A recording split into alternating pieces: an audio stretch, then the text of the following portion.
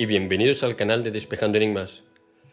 En el vídeo de hoy hablaremos de quiénes son los conferenciantes del congreso que se celebrará en Montserrat, Barcelona, presentado por 08 de Ufology World Congress, los días 19, 20 y 21 de septiembre del 2017.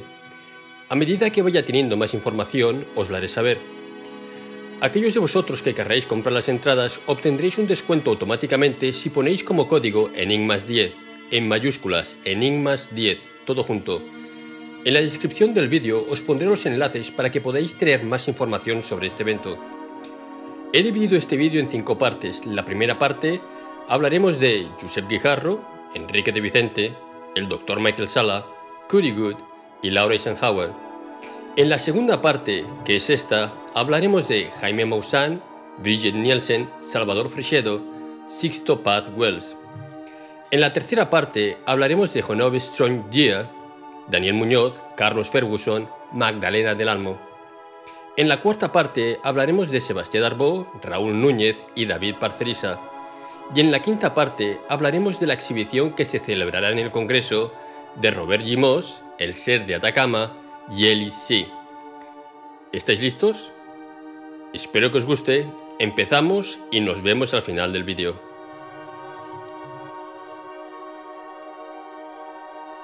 Jaime Maussan, nacionalidad mexicana. José Jaime Maussan Flota, Ciudad de México, 31 de mayo de 1953. Es un periodista e investigador que ha utilizado su trabajo principalmente para la denuncia social, medioambiental, avances científicos y la búsqueda de una vida inteligente fuera de nuestro planeta. Fue destacado conductor de 60 minutos durante casi dos décadas y actualmente es conocido por su periodismo de investigación, dirección y conducción del programa Tercer Milenio, transmitido por televisión. En 1973, su carrera da inicio con el reportaje Niños drogadictos, que llegó a ser mostrado en el Festival de Cannes Francia en 1973 y con el cual le hizo ganar el premio Gustavo Alatriste.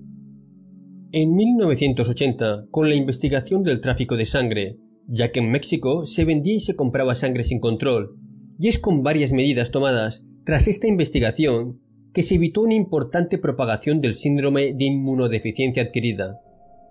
En 1982, el Instituto Mundial de Población selecciona su investigación Génesis y Apocalipsis, una serie de cuatro horas que hablaba de la explosión demográfica y el crecimiento acelerado que vivía la Ciudad de México, y fue ganadora de entre 7.000 trabajos, para ser galardonado en la sala Mike Mansfield, en el Capitolio de Washington, por las estadísticas y la información, dando una visión de lo que hoy en día afecta contundentemente a la humanidad. En 1988, a través de sus informes, dos programas de una hora, vivieron un mejor invierno ya que se creó el Rescate Nacional Tarahumara, debido a las condiciones de pobreza y de hambre en las que se encontraban.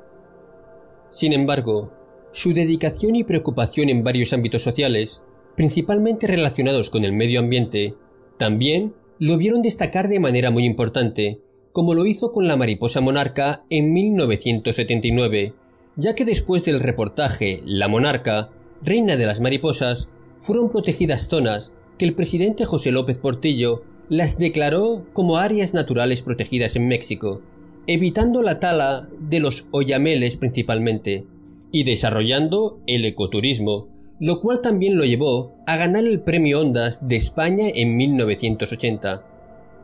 Ha contribuido de manera muy importante con la información relacionada con el cambio climático, además de reportar para fomentar el cuidado de la tortuga marina en conjunto con World Wildlife Fund en 1983, haciendo una valiosa contribución a la protección de la especie en México, ya que esto fue crucial para la legislación en 1991 a la protección de la tortuga, pues se detuvo en gran medida la carnicería en torno a ella, así como el tráfico y la venta del huevo para el consumo humano, evitando su extinción e incrementando su población hoy en día hasta un millón de ejemplares de la misma.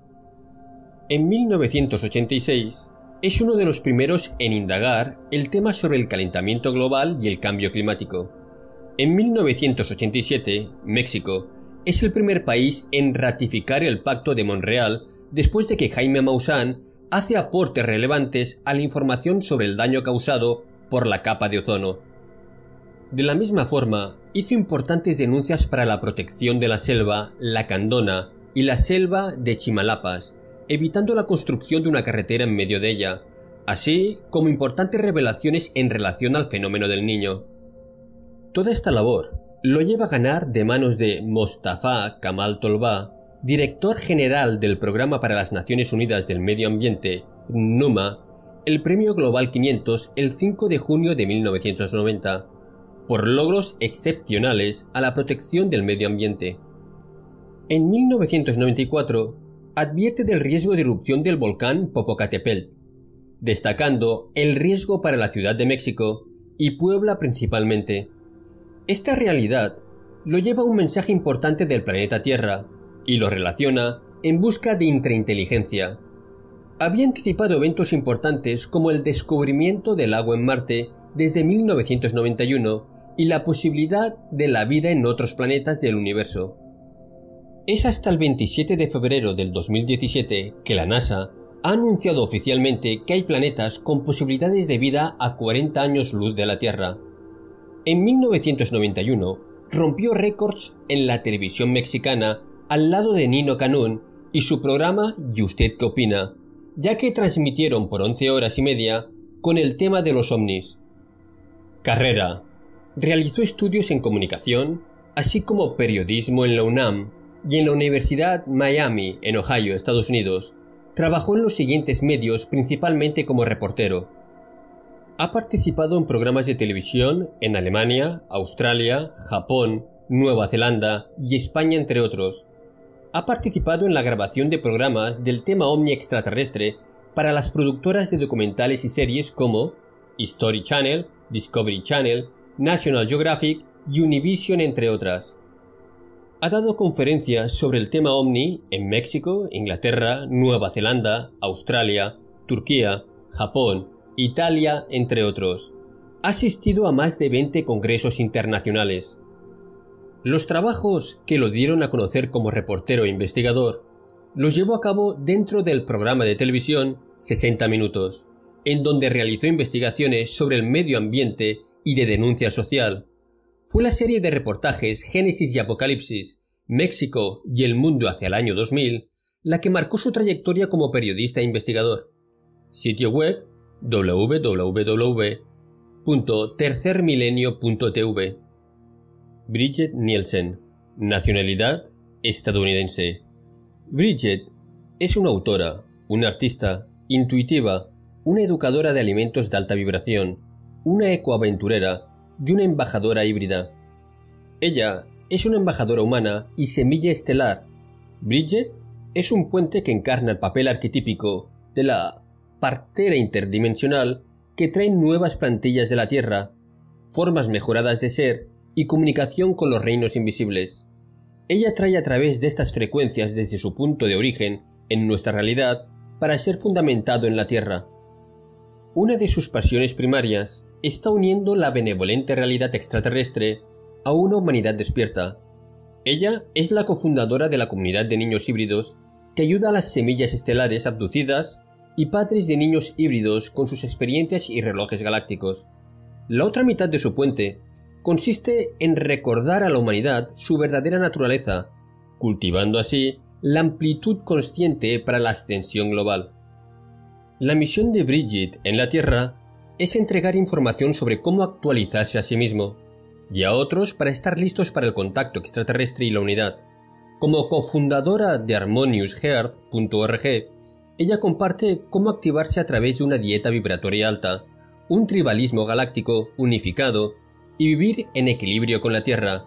Sitio web www.bridgetnielsen.com Hybrid Children community.com. Salvador Freixedo, nacionalidad española. Salvador Freixedo, Carballino, Orense, 1923, ex sacerdote católico, español, y ex miembro de la Compañía de Jesús, ufólogo e investigador de temas paranormales, ha sido invitado como ponente en numerosos congresos internacionales, tanto en Europa como en América o Asia, así como colaborador de diversas revistas paracientíficas como Mundo Desconocido, Karma 7 o Más Allá, entre otras. También ha participado en numerosos programas de radio y televisión dedicados a este tipo de temáticas. Biografía. Nació en Carballeno, Ourense, Galicia, en 1923, en el seno de una familia profundamente religiosa. Su hermano era jesuita y su hermana era monja. A los cinco años su familia se traslada a Orense, y es aquí donde comenzaron sus primeros estudios, haciendo párvulos en las monjas de San Vicente Paul y bachillerato en el Instituto Otero Pedrayo. A los 16 años ingresa en la Orden de los Jesuitas, siendo ordenado sacerdote en 1953 en Santander, España, perteneciendo a dicha orden 30 años. Comenzó a residir en diversos países de América desde 1947, ejerciendo sus labores como jesuita, enseñando historia de la Iglesia en el Seminario Interdiocesano de Santo Domingo, República Dominicana, y fundando el movimiento de la Juventud Obrera Cristiana en San Juan de Puerto Rico, siendo viceasesor nacional del mismo en La Habana, Cuba. Cursó estudios de humanidades en Salamanca, de filosofía en la Universidad de Comillas, Santander, España, de teología en el Alma College de San Francisco, California, de estética en el Mont Laurier, Quebec, Canadá, de psicología en la Universidad de Los Ángeles, California, y en la Universidad de Fort Dam de Nueva York. Desde la década de 1950, su posición crítica con las posturas de la Iglesia Católica y la publicación de algunos libros le condujeron a la cárcel y a la expulsión de países como Cuba y Venezuela, así como a su exclusión de la Orden de los Jesuitas en 1969.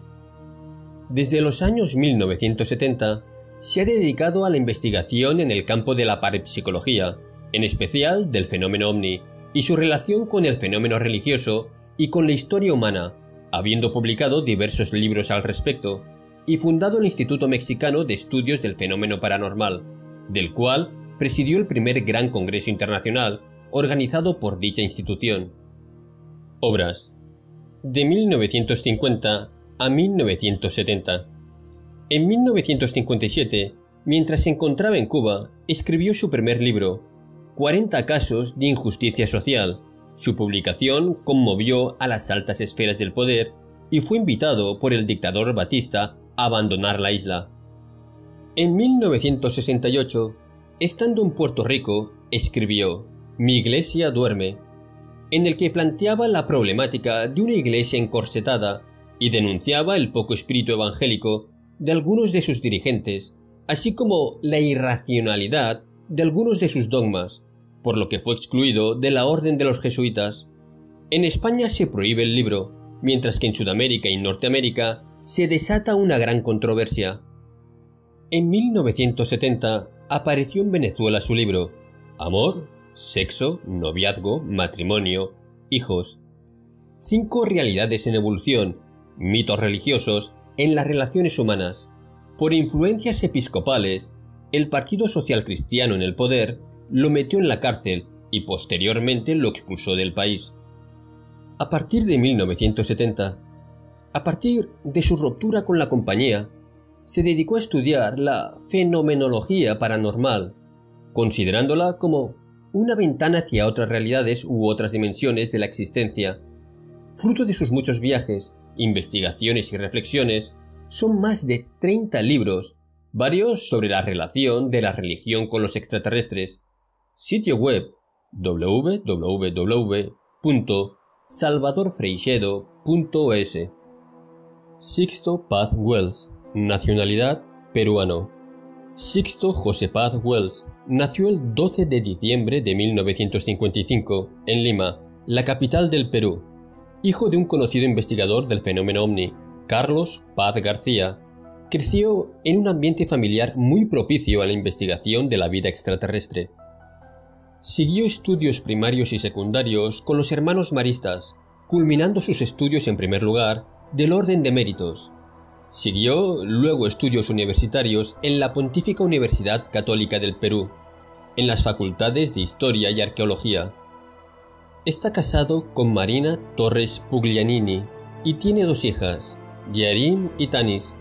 Desde 1974 logra establecer una de las experiencias de contacto extraterrestre más fascinantes y difundidas a nivel mundial. Fue el 22 de enero de 1974 que a raíz de una conferencia dictada por el doctor Víctor Yáñez, médico del Hospital de Policía de Lima y miembro de la Sociedad Teosófica sobre el tema la telepatía como transmisión de pensamiento a distancia, sugería la posibilidad de que si existieran seres de otros mundos que visitaran la Tierra, podrían estos estar tratando de comunicarse con la humanidad, no solo físicamente con sus naves, sino astralmente, mentalmente de forma telepática.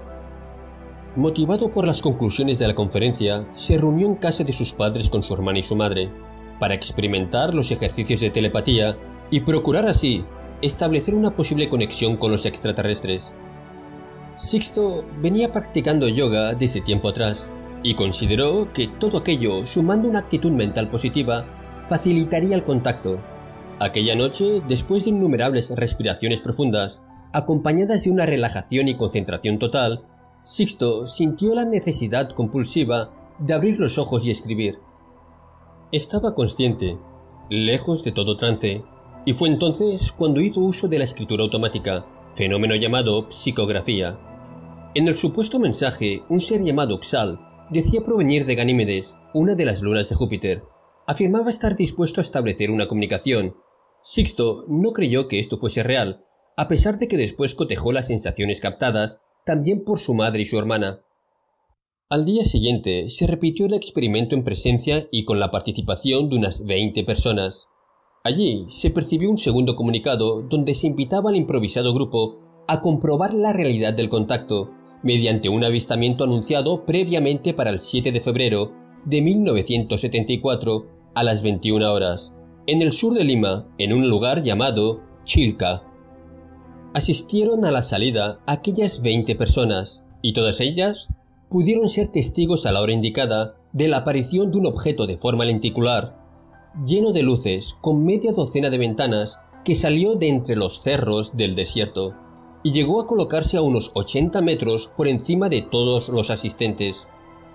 En ese momento, todos se sintieron abrumados por el temor, pero, a la vez, captaron en sus mentes, como si les hablaran al oído, que se les decía, no bajamos en este momento porque no saben controlar sus emociones, habrá una preparación, un tiempo y un lugar. Cinco meses después, la nave descendió en la misma zona. Sixto y tres de sus compañeros pudieron acercarse al tripulante que descendió de la nave ante sus propios ojos. El ser era muy alto, tenía aspecto humanoide y lucía un traje brillante. La comunicación con él fue telepática. Los avistamientos y los contactos físicos se multiplicaron con el paso del tiempo. Fueron dados a conocer a nivel mundial por el periodista español Juan José Benítez, autor de libros tan conocidos como la serie Caballo de Troya, Los astronautas de Yahvé, La rebelión de Lucifer, El enviado, documentos oficiales del gobierno español sobre los ovnis, etc. Juan José Benítez, cuando solo era un corresponsal de prensa más allá de la agencia F de Noticias de España, fue enviado al Perú a cubrir la insólita noticia del contacto que afirmaban tener y mantener un grupo de adolescentes peruanos con seres extraterrestres. La vida de este periodista cambió radicalmente al ser el mismo, testigo presencial, imparcial y objetivo de estos contactos. Cuando asistió con el grupo al desierto de Chilca, el 7 de septiembre de 1974, y vio aparecer, tal como se le había anunciado con antelación, dos ovnis, tal fue la impresión que se llevó por lo que vio, y por el hecho del contacto con los ovnis, pudo verificar su existencia y de regreso a España, no solo dio a conocer su testimonio a través de toda la prensa y televisión española, sino que hasta publicó un libro relatando todo ello llamado Omnis sos a la humanidad, en la editorial Plaza Llanés. Al año siguiente, Benítez regresó al Perú en compañía de otro periodista de la agencia F, Manuel Mujica, y ambos asistieron con el grupo a un nuevo encuentro programado, pero esta vez a una playa al norte de Lima, donde se dio un nuevo avistamiento anunciado para la prensa, de lo cual surgió otro libro titulado 100.000 kilómetros tras los ovnis. Los contactos han continuado vivenciándose experiencias extraordinarias como son los pasos interdimensionales Shendra, la recepción de los cristales piramidales de Cesio, nuevos encuentros físicos y el ingreso hasta en tres ocasiones al interior de sus naves pudiendo visitar una base submarina y ciudades en Morlem o Ganímedes, una de las lunas de Júpiter, lo cual sucedió hasta en dos ocasiones. A lo largo de todo el proceso del contacto, se ha convocado en diez oportunidades a la prensa internacional, para que atestigue de la autenticidad y realidad de las experiencias y de la vigencia del mensaje recibido y transmitido, que fundamentalmente procura sembrar esperanza en la humanidad en relación a un futuro positivo para el planeta. La quinta vez que se invitó a la prensa fue en marzo de 1989, cuando 40 periodistas de ocho países asistieron al desierto al sur de Lima. Entre los convocados estaba Leticia Callaba, del Canal 51 Telemundo de Miami, Beatriz Parga, del Miami Herald, José Gray, Canal 23 Univision, Rolando Veras, Canal 2 Buenos Aires, entre otros. Quienes pudieron ver, filmar y fotografiar la nave extraterrestre. En la séptima ocasión, los periodistas que asistieron no solo fueron testigos del avistamiento, sino que también vivieron el traspaso del umbral interdimensional a Shendra, experiencias antes reservadas solo para los contactados como son los anteriormente mencionados cristales de cesio. La octava vez, en marzo del 2009, se contó con la presencia de periodistas de Telemundo de Miami, el Diario del Comercio de Lima, Televisión de Costa Rica y Canal 13 de Lima. Entre los asistentes estaba la juez doctora Ana María Polo, del programa del mayor ranking de la televisión hispana, Caso Cerrado, siendo testigos todos de la aparición del objeto sobre los cerros del desierto de Chilca. La novena vez fue en el mismo desierto de Chilca, en marzo del 2014, y además de los periodistas presentes, asistieron dos representantes de la Comisión de Investigación de Fenómenos Anómalos de la Fuerza Aérea del Perú. Todos ellos fueron testigos de avistamientos que habían sido anunciados con antelación, tanto de día como de noche. La décima ha sido el mismo año 2014 en Teotihuacán, México, donde más de 55 personas, entre ellos reporteros del programa Tercer Milenio, avistaron seis objetos a plena luz del día de distintas formas que fueron surgiendo en el cielo durante aproximadamente seis horas consecutivas. Sixto Paz viaja anualmente por alrededor de 18 países, impartiendo conferencias y seminarios, siendo invitado a congresos internacionales que se celebran sobre la materia, también es invitado a canales de televisión y programas de radio de todo el mundo para comentar sus experiencias y cualquier hecho relacionado con el tema. Ha expuesto en los foros internacionales más prestigiosos e importantes como son las Naciones Unidas en Nueva York, la Sociedad de las Américas, la Universidad de Columbia, la Universidad John Fitzgerald Kennedy, la Universidad de Montreal, la Universidad Complutense de Madrid, Universidad Autónoma de México, etc. Recientemente regresó de Washington, Nueva York, New Jersey, Los Ángeles y Miami, donde viajó invitado a disertar por dos congresistas del Senado de los Estados Unidos. Es autor en la actualidad de 20 libros, publicados en Argentina, España, México, Italia, Alemania, Colombia, Perú y los Estados Unidos, algunos traducidos al inglés, italiano, alemán y portugués. En su búsqueda de la verdad, y de las respuestas que a través del contacto se podían dar, ha explorado en varias ocasiones la isla de Pascua, buscando resolver los misterios de la isla del ombligo del mundo, así como las selvas de México, Guatemala y Honduras, siguiendo la ruta maya. Ha recorrido en repetidas ocasiones África y especialmente Egipto, investigando cada una de las muchas pirámides, templos y necrópolis, procurando hallar los nexos con la real historia planetaria y sacar a la luz la visita de los extraterrestres. Ha participado de viajes a las selvas del Manu en la zona amazónica, siguiendo la huella de los sobrevivientes de la cultura inca, procurando contactar con la ciudad perdida de Paititi. Ha estado varias veces en Israel y Jordania, buscando respuestas sobre los años perdidos de Jesús, los esenios y los verdaderos orígenes de nuestras creencias. Ha visitado, con fines de investigación, muchos de los más importantes santuarios de Europa y lugares misteriosos como Stonehenge, en Inglaterra, siguiendo la ruta artúrica y la ruta templaria, e investigando personalmente los agroglifos o diseños que se presentan sobre los campos de cultivo. Ha recorrido la India, Nepal, Tíbet y China, procurando una conexión mística espiritual con los legados ancestrales. También ha participado en iniciaciones secretas que lo han conectado con dimensiones superiores de conciencia en diversas partes del mundo. En la actualidad está confeccionando nuevas obras como El Templo Interior, nuevos libros con sus últimas vivencias de contacto y con los conceptos aprendidos a lo largo de toda su experiencia de vida, conteniendo esas nuevas obras la sabiduría que se desprende de ese puente que se ha establecido con las estrellas y que continúa hasta ahora. Sitio web www.sixtopathwells.com Fin de esta segunda parte de 5 de los conferenciantes del Congreso que se celebrará en Montserrat, Barcelona, los días 19, 20 y 21 de septiembre del 2017. En la tercera parte de 5 hablaremos de Jonobi Strong Dia, Daniel Muñoz, Carlos Ferguson y Magdalena del Almo. Hola de nuevo. Bueno, en esta segunda parte también tenemos a, cuatro ponentes de lo mejor a nivel mundial, que serían el señor Jaime Maussan, Brigitte Nielsen, Salvador Freixedo y Sixto Paz. Eh, todos aquellos que querréis hacer alguna pregunta a alguno de estos cuatro ponentes, ya sabéis, la escribís en la caja de comentarios. Del señor Maussan, pues bueno, ya hemos visto que tiene un currículum muy extenso. Y bueno, me gustaría a ver si tengo la oportunidad de entrevistarlo. Brigitte Nielsen, la verdad es que yo no la conozco mucho.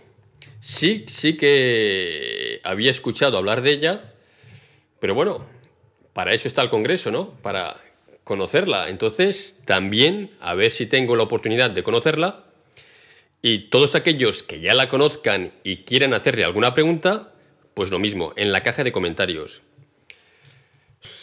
El señor Salvador Freixedo, pues qué decir, eh, yo tuve el placer de verlo una vez en Barcelona, de lejos, pero lo vi. Y bueno, parece una persona bastante interesante, también con una carrera muy dilatada. Me gustaría tener la oportunidad, primera, de que me firmara un par de libros que tengo de él y la segunda, pues tener la oportunidad de entrevistarlo. Luego tenemos al señor Sixto Paz, que, lo mismo, eh, conocido a nivel mundial. Eh, también tengo un par de libros de él. Me gustaría que me los firmara y tener la oportunidad de entrevistarlo. Entonces, todos aquellos que tengáis preguntas para Sixto Paz, Salvador Freixedo, Brigitte Nielsen y Jaime Maussan, por favor las escribís en la caja de comentarios. Entonces, antes de que se me olvide, hay un seguidor del canal, bueno, en el cual pues nos hemos escrito a través de internet, que es el señor Roberto Carlos, de tu oficina Maipú, el cual me pide que haga un saludo al señor Moisés Álvarez Soto de la comuna de Maipú, ciudad Santiago, Chile. Pues nada, desde aquí te saludamos y un fuerte abrazo. Y por hoy damos por finalizado este vídeo y nos vemos en la tercera parte de esta serie de cinco vídeos. En la tercera parte tendremos a Ojonobi Dia, no sé si lo pronuncio bien, a Daniel Muñoz, a Carlos Ferguson y a Magdalena del Amo. Pues nada chicos, ahora sí que me despido y hasta el próximo vídeo. Un abrazo, chao.